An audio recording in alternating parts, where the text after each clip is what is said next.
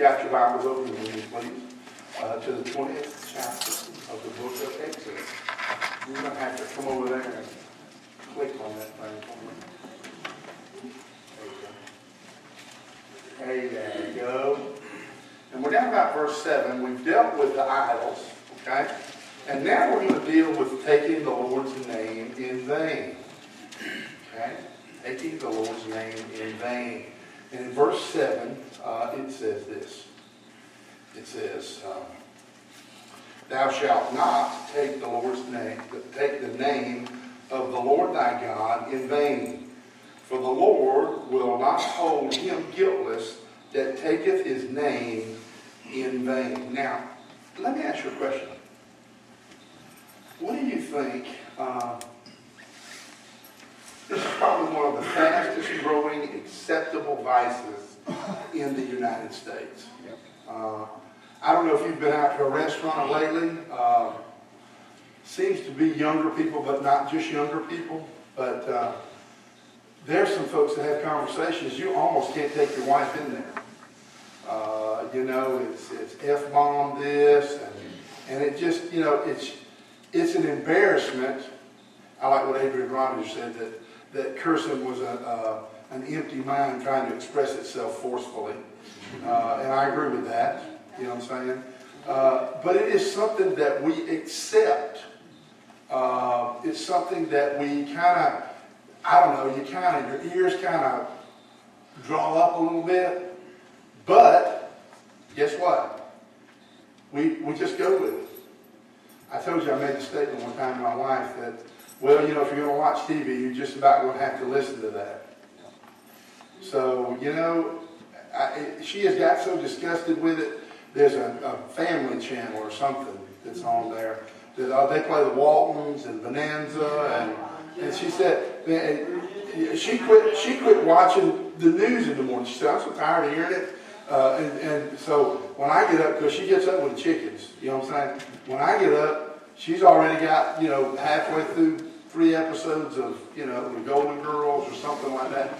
Because it, we really do live in a day and a time when you cannot turn the idiot box on and not have to deal with the filth. Uh, and it's, it's, it, it's not just here and there, it's everywhere. It's on the broadcast news networks. The, I'm going to say the broadcast network, the ones that put it out free. You know, people say, well, you know, you cut your cable off, you don't have to listen to that because they don't go by the same guidelines that public television. But you can't turn that on anymore without having to listen to the filth and CIB, CS, JK 2 and 3, and New Orleans and all. I mean, every time you turn it on, it's like I can't express myself without the filth. uh, I've told you on History Channel that there have been several programs that I really enjoyed. You know what I'm saying? You can't watch them. You can't watch them for, you can't understand what they're saying because every other word is beep, beep, beep, beep, beep. You know, I mean, where does that come from? Well, anyway, it's, it's a serious problem, but here's the deal. How many of you have said, uh, oh, well, I'm sorry for the slip of the tongue? Or pardon my French. I don't know about y'all, I don't know French. But I don't think none of them words fit into that. You know what I'm saying? And we do, do we not? Do we not have a tendency to make an excuse for it? Well, I got upset. I got, you know what I'm saying? This is a dangerous thing. Why do you think God takes this so seriously? Anybody? Sure he does. Okay, it's degrading. Anybody else? It trivializes his name. Okay. All right, that's very good. Anybody else? Why do you think God takes this so so much so, you remember, we talk about this is the code of conduct for culture. Okay? Why do you think God takes it so seriously? Yes, Bill. Maybe because it shows that the individual has lost control. That's pretty good. I never thought about it from that angle before, but you're probably right. Anybody else? There's power in the tongue. What? power in tongues. Okay, power in words. Yes, ma'am. God expects us to be examples of life through a fallen world. Okay. We're supposed to fear him holy. Well, I'm sorry? We're supposed to fear him as, as you know, even his name is losing all that. Um, Where does the power, in, in, when Paul said,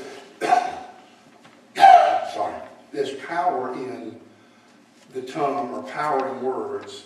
Where does that come from? Where does that power come from? Now, I want to get over here. Brother Gail, you had your hand up. Yeah, it's disrespectful. It is disrespectful. Okay? Where does that come from, that power? Right? But where does that come from? There you go, you got it.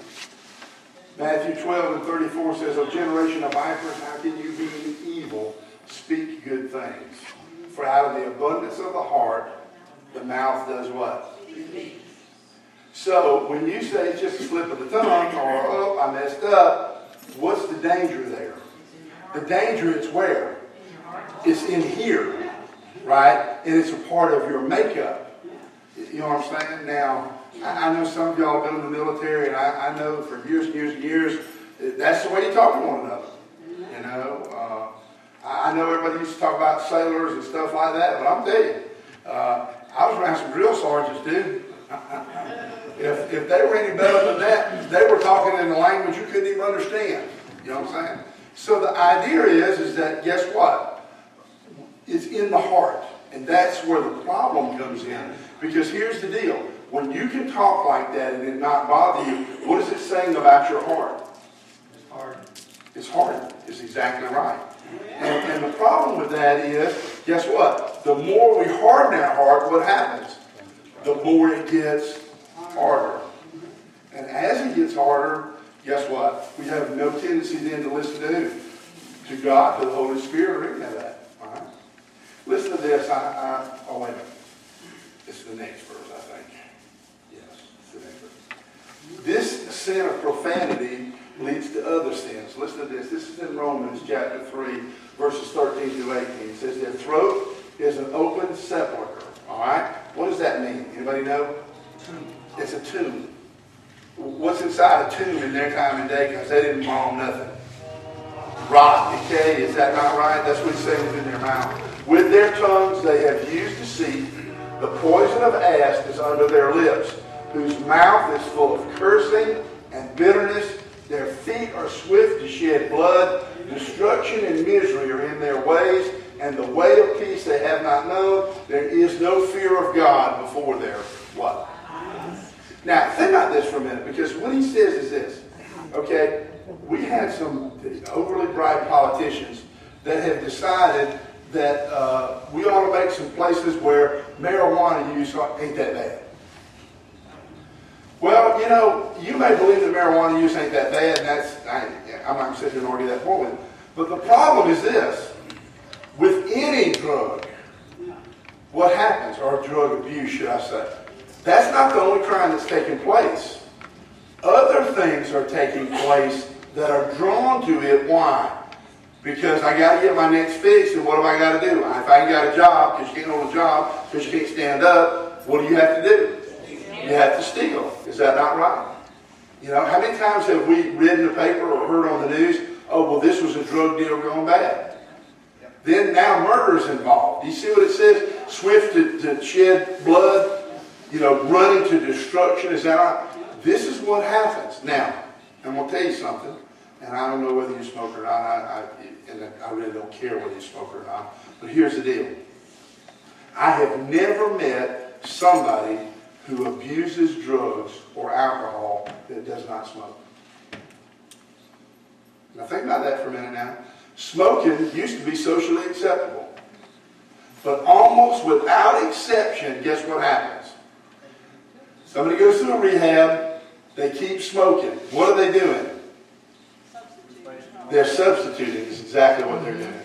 The addiction is still there. You know what I'm saying? And I can tell you that because I was addicted to tobacco. So I know exactly what I'm talking about. So the idea is, is that guess what? What we say won't hurt you. Well, he just said a cuss word. Oh, little Junior's so funny. He just he's just repeating Grandpa Paul. Yeah, when he's got his gun in the back of some guy at the 7-Eleven store killing him over a pack of cigarettes, you won't think that's so funny. You know what I'm saying? So the idea is, is that this, this is pretty serious. And it's pretty serious in our society. And unfortunately, just like these shootings that we've been seeing, it is, it's gonna continue to increase, okay? Mm-hmm. Now, I'm not blaming that on that, but anyway. I want you to look at something here. This was George Washington. He wrote this in 1776. It says, "The general is sorry to be informed that the foolish and wicked practice of profane swearing, a vice hitherto little known in the American army, is growing into fashion. He hopes the officers will, by example as well as influence, endeavor to check it, and that both they and the men will reflect, will reflect that we can have little hope of the blessings of heaven on our arms if we insult it by impiety and profanity. What was he saying? He said, you know what, we're asking God to bless us and our mouth is a, you know, we got a potty mouth. You know what I'm saying? He said, if we want God to bless us, we need to treat him with respect and we need to treat his name with respect. Now, think about this. There are some benefits to obedience to this command. First one is salvation. Listen this. This is John 1 and 12. But as many as received him, to them gave he power to become the sons of God, even to them that believe on his what?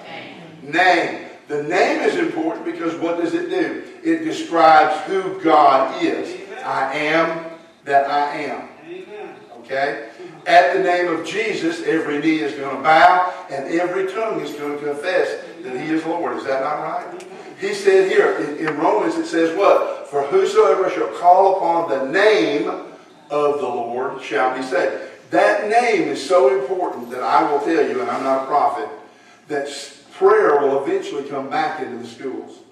It will be a corporate prayer. It will be something written by the school system. And when it does, it will talk all about God, but it will never mention Jesus. And the reason being is because the name Jesus is the only name whereby we must be saved. You see what I'm saying? That's how important that name is. Not only that, there's safety. Listen to this, Proverbs 18 and 10 says, The name of the Lord is a strong tower. The righteous run into it, and it is safe. It also helps us to speak words of encouragement. The Lord, Isaiah 50 and 4, the Lord God hath given me the tongue of the learned, that I should know how to speak a word in season to him that is weary. You ever thought about that? How many people that we come in contact with that we have an opportunity just to encourage that are going through a difficult time. You know what I'm saying? And he says, guess what? Those words are important. And I'll tell you something else. A word is like a bullet. Once a bullet travels down the barrel of that gun, guess what? There ain't no calling it back. It's going to do whatever it done. That word is the exact same way. You can be bitter to one another. You can bite at one another. But Paul said, don't be surprised when you're devoured. Because we need to be careful how we speak. All right? Yes, my brother. there's one, there's one term out there that, that gets used so much in this day and time that I, people wouldn't think of using God's name in vain with a cuss word will, they'll say, and, and it's so popular that they even got initials, OMG, Yeah. oh my, and then have God's name. Well, and I'll tell you Some- something. Sometimes elderly people that wouldn't think of, you know, cursing, and not just young people, will use that term. Well, And, and- they're using God's name in vain. If you look at verse 7, it says, to what? Not take his name what? It- It's not just talking about profanity. How many of y'all ever smacked your friend? Jesus! That's taking his name in vain. That's lessening, that's pulling him down from his throne to be something common and base. And hey, I'm guilty of it. It's using this slang, not in in a spiritual way. That's exactly right. And we need to be careful of what we do. Yes, Miss Susan. Yeah, yeah. I think anytime any of us who've taken the name of Christian, we've taken the name. Say that again now. Believe that any of us who have taken the name of Christian and we mess up, we've taken his name in vain. Wow, that's pretty strong too, Don. About it that respect. Because it is the way we live, isn't it? You know, it is, you know, I I heard a preacher say one time, and I thought was so true. He said, you know, no matter where you go, if you're his child, he's inside of you. And if he is inside of you, guess what? Everywhere you go, you go to the bar, go to the place where you shouldn't be, telling lies, you know, the funny jokes that are filthy, that he's right there with you. He can't leave you. You know what I'm saying? Because he said, I'll never leave you nor forsake you. So, you know, that's, that's a thought. I mean, it really is. I mean, it's just, it's the casualness of the way we use his name, when in reality, his name is what gives us salvation. For whosoever shall call upon the name of the Lord. You know, it's specific to him. All right, let's go first on here to verse 8. All right? Look at this. Oh, we're going to break some hearts now. Remember the Sabbath day to keep it holy. Six days shalt thou labor and do all thy work. Uh-oh. But the seventh day is the Sabbath, and the Lord thy God, the Sabbath of the Lord thy God. In it thou shalt not do any work, thou shalt, nor thy, nor thy son, nor thy daughter, nor thy manservant, nor thy maidservant, nor thy cattle, nor thy stranger that is within the gates, in thy gates. For in the six, for in six days the Lord made heaven and earth, the sea, and all that is in it. In them is, I'm sorry, uh, and rested the seventh day. Wherefore the Lord blessed the seventh day and hallowed it. Okay? All right? Who does this command apply to? All right. All right. Apply to Israel? All right. What about believers? All right. What about unbelievers? Yeah. Why is it them too? Well, then let me ask you a question. Why is it that we don't worship on Saturday? Some people do. But why don't we? If it says keep the Sabbath day holy, why don't we worship on Saturday? Our Sabbath is different than theirs. Because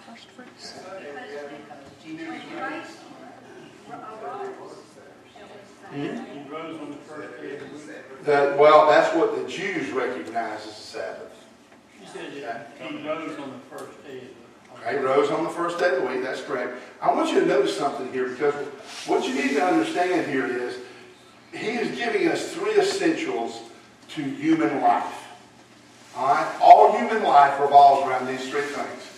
Work, oh my goodness, shock. Okay? Rest, because if you never rest, what will happen? You're gonna die. The body, that's right, the body will eventually just break down. And the one thing that's, that's overlooked, because most of us like our rest part, is what? Worship. Is exactly right, is worshiping. And I don't care whether you're in the Old Testament, whether you're in the New Testament, I don't care how you define Sabbath, this verse applies to us all. Hebrews 10, 23 through 25. Let us hold fast the profession of our faith without wavering, for he is faithful that promised. And let us consider one another to provoke unto love and do good works, not forsaking the assembling of ourselves together, as the manner of some is, but exhorting one another, and so much the more as you see the day approaching. Now, there are some reasons for worship.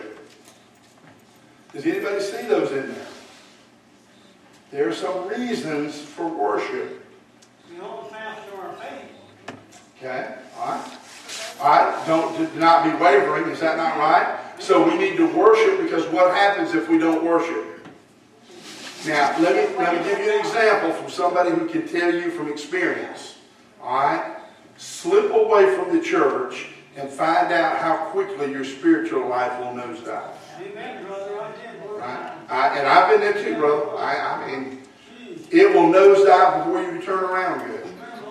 I give you one step further. It, you can be affected in how you worship and live by the music you listen to, by the by the uh, the TV that you watch. You see what I'm saying? Would it not make sense that when we're together in church that we are doing what? He said it in verse 25. Provoking what? Now, when we think about provoking, we think about what? We think about negative, don't we? Ah, he's poking at me. No. He says that guess what? We're to be a motivator. That's what he's saying, an encourager to other people to do what? To love and do good works. Now think about that for a minute. To love and do good works comes out of a worship service. Why is that? And I'm glad this came up. Thank you, Lord. You told me to announce this, darling, and I did. Wednesday night, they're going to put the baskets together. If your name is on that list, or if you have a neighbor that's on that list, or whatever, if you will, Miss Carla and them will be over there Wednesday, you can pick your baskets up Wednesday. If not, they're going to deliver them Saturday. Okay? But if you'd like to pick them up, you can certainly pick them up next Wednesday. That's when they're going to put them together. Right? But, but the idea is, is that guess what? When we meet together, what should we be doing? Encouraging one another to what? First, love one another, and then what? Do the right thing. It's exactly right. That's why these testimony services are so important. Because guess what? We need to hear what God is doing in your life because that provokes me. Because when I say, man, I tell you what, if those guys can do it, I don't know why in the world I can't do it. Well, I don't feel good. Well, you know, they don't feel good either. But you know what? They can do it. I, I can be right there with them. You know what I'm saying? So this idea of worship, it reaches into every part of our life. And that's what most people don't understand. But he says this in that last part of that verse, verse 25. He says, not forsaking the assembly of yourselves together as the manner of some is. What does he talk about? All right, he's talking about going to church. He's talking about an assembly. And we're talking about worship. We're talking about the Sabbath day too. All right, so he says what? There are some people who are going to do what? Now, let me ask you this. How many of y'all have heard somebody say, oh, I'm a Christian? I, I hear it down here all the time. Oh, yeah, I'm a Christian. Okay, where do you go to church? Well, I don't attend church.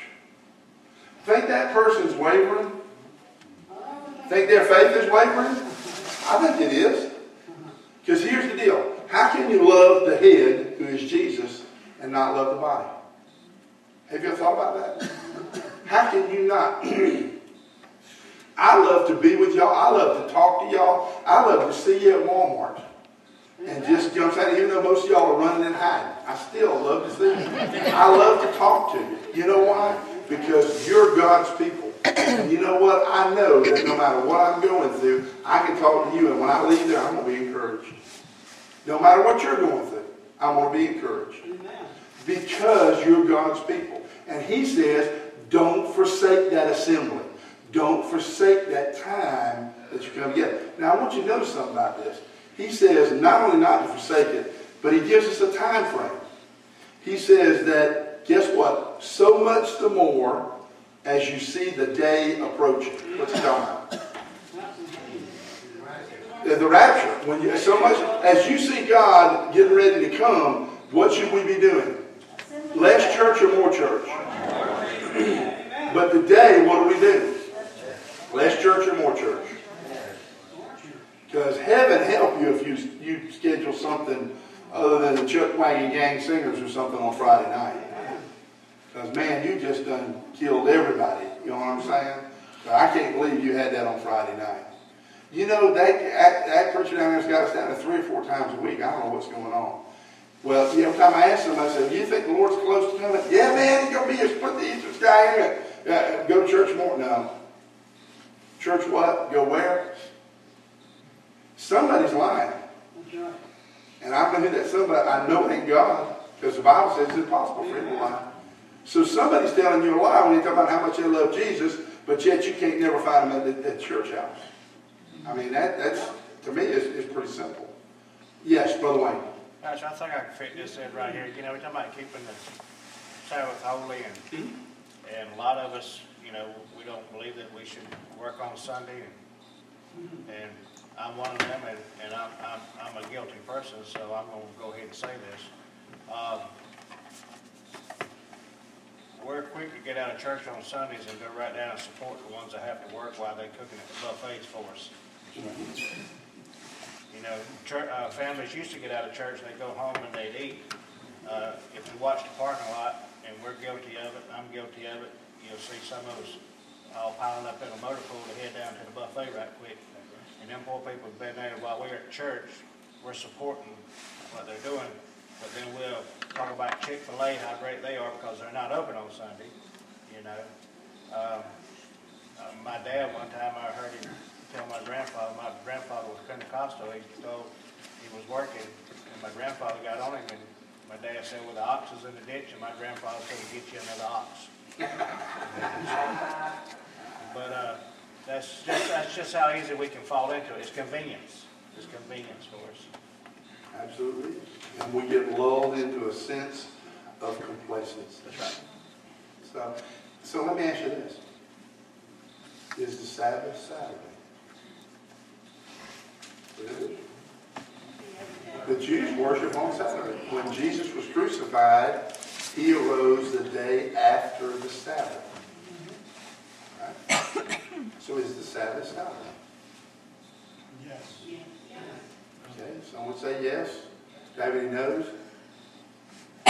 Bill said no, he don't think it is. I have always wondered that, what is, Sabbath should be every day. Traditionally, we recognize it as when? Sunday. Now, you remember in, in verses 9 and 10, he said God worked for six days, and on the seventh day, he did what? Rested. So traditionally, we know Saturday is what? The seventh day. Is that all right? Okay. Because that's why you keep, you keep saying in your mind, yes, it is Saturday. Okay? I want to define for you uh, the word Sabbath, uh, and it's Shabbat. It means to rest, to repose, to cease. It means to cease from work and rest from work.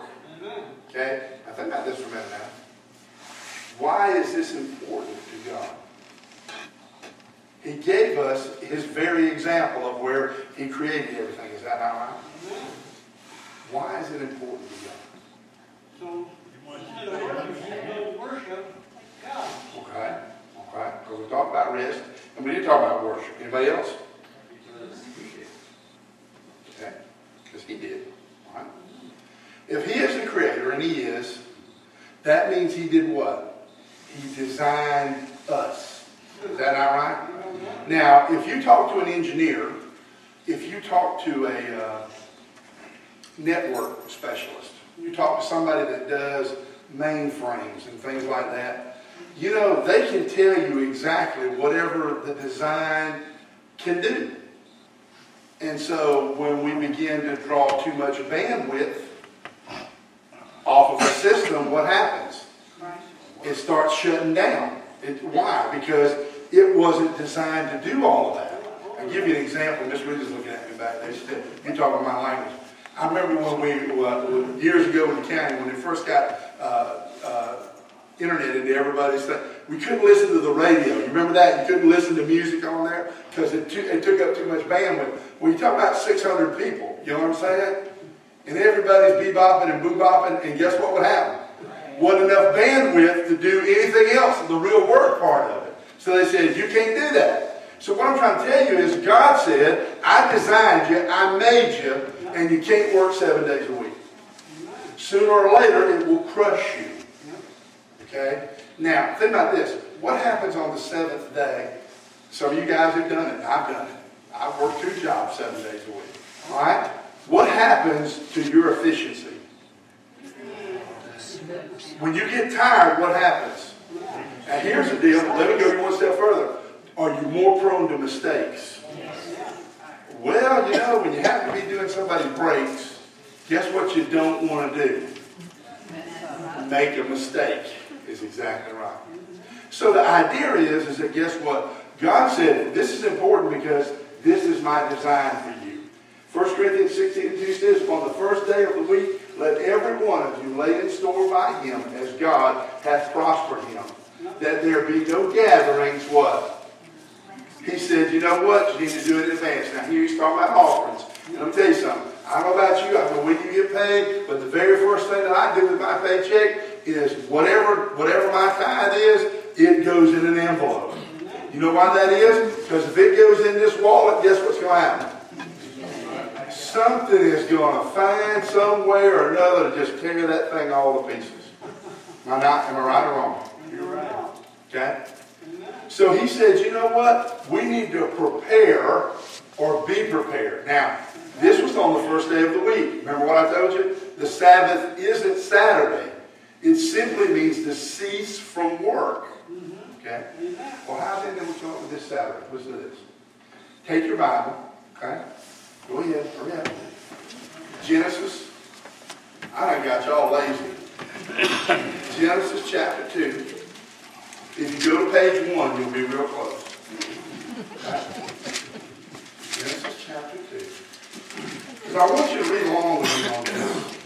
Uh, because it, it don't jump out at you at first until you read it. Now, we just read in Exodus that God worked seven days and rested on the Sabbath. And that we are to keep the Sabbath holy. Is that not right? Look at Genesis chapter 2 and verse 1. It says, Thus the heavens and the earth were finished, and all the host of them. And on the seventh day, God ended his work which he had made. And he rested on the seventh day from all his work which he had made. And God blessed the seventh day and sanctified it, because that in it he had rested from all his work which God created and made. Is that basically what he's saying in Exodus? Basically what he's saying in Exodus. Well, then what don't you see here?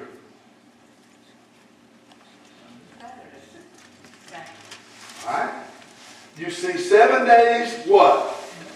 In a week. Is that not right? Mm-hmm. What don't you see in them seven days? Sabbath. There's no Monday. There's no Tuesday. There's no Wednesday. Why do the Jews worship on Saturday? Because that is the day they chose to honor the Sabbath.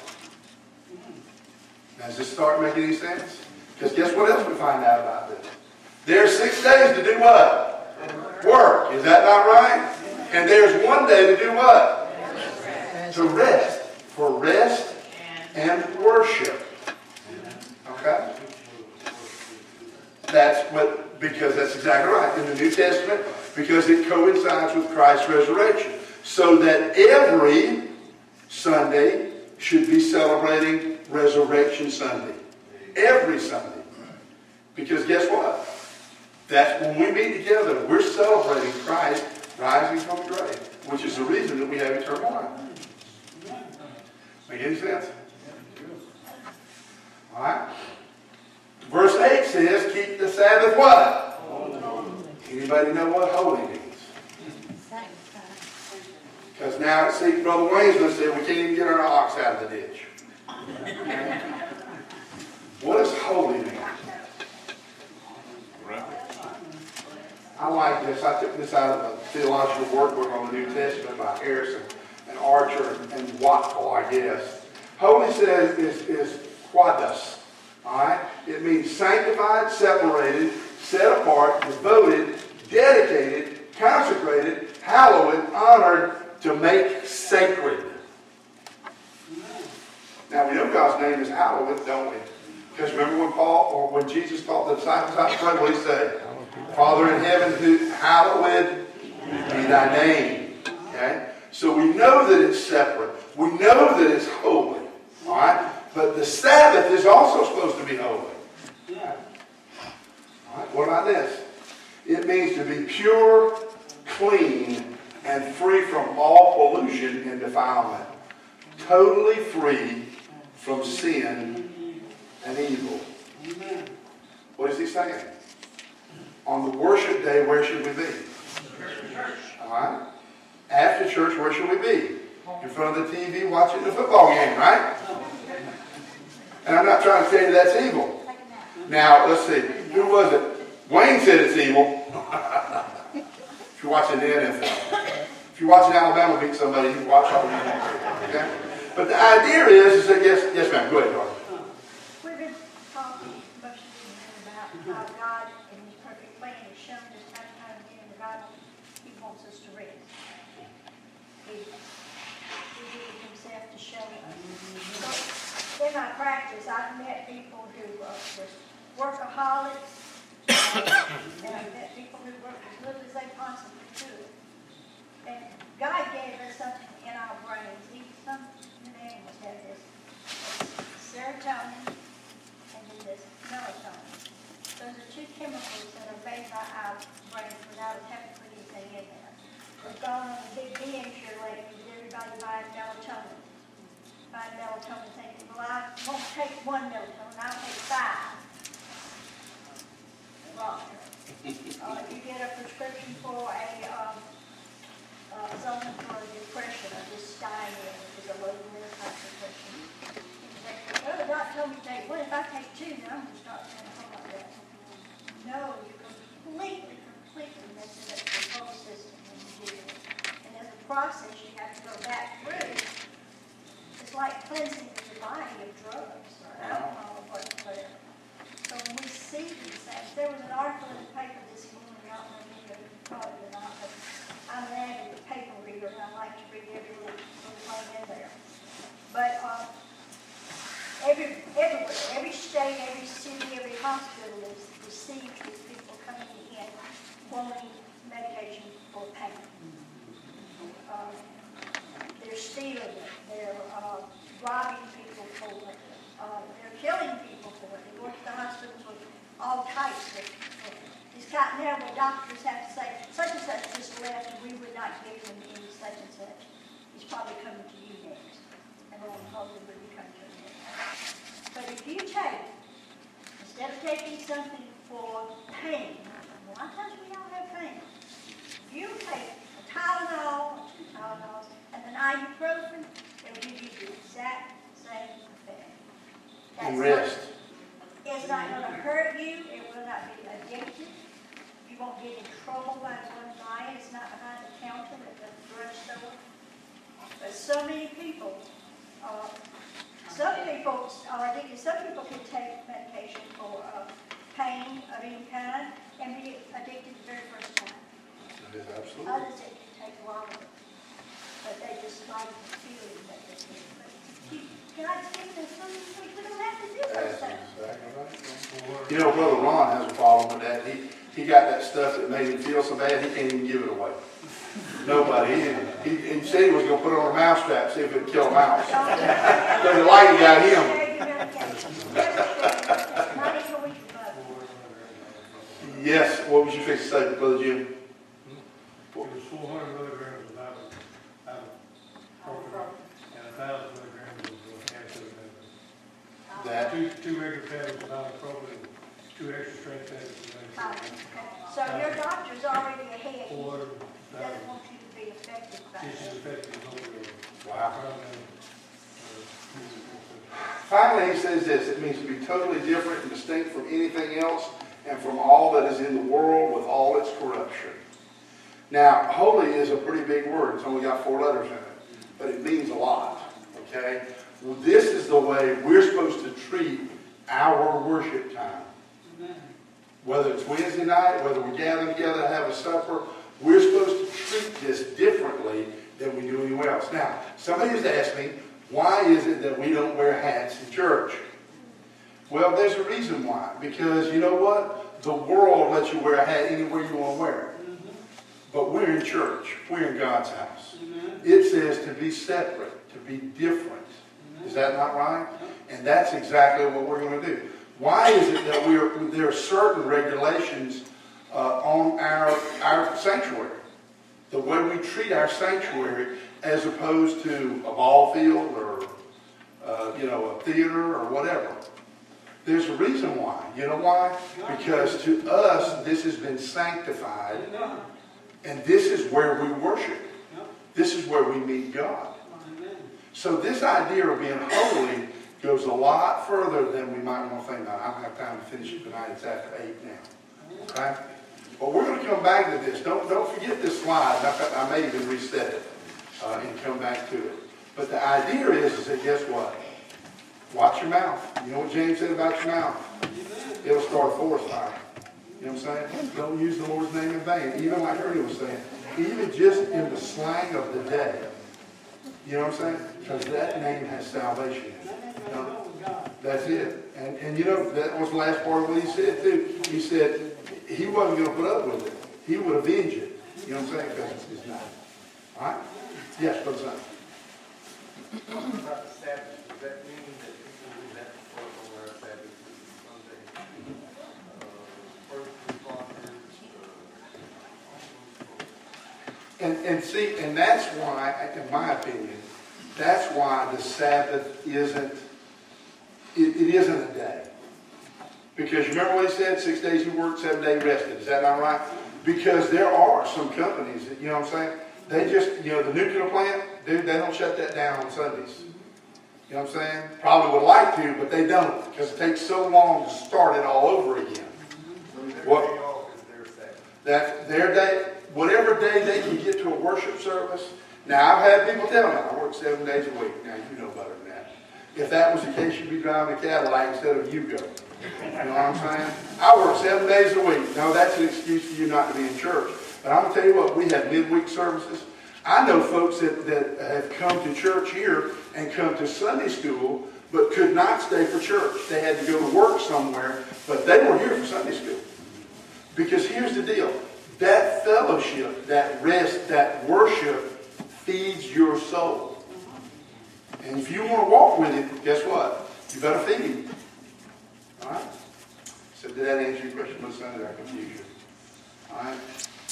All right. Is there anything else? Don't forget, next Wednesday, if you know somebody that's going to have one of these baskets, they'll be assembled, they can pick them up in the fellowship hall next Wednesday after church. Is that correct? Okay. All right. Anything else need to be said or done? Don't forget Miss Mary Ann's uh, memorial tomorrow at 11 uh, over at uh, Grove. I never could figure out their name. Is it Grove First Baptist, First Baptist of Grove? I think they changed Is it. it Grove Baptist? I thought it's Grove Baptist. Is it? I thought it was First Baptist or something. Oh, they did? Okay. They're the only Baptist or something. I don't know what to do. Anyway. Anyway, it's over there at 11 and, and viewing will be from 10 to 11. Okay? So we encourage you to come out and be a part of that. That having been said, I- I'm asking Brother Wayne over there, if you don't mind, if he close our services in a word of prayer uh, and ask God's blessing on it.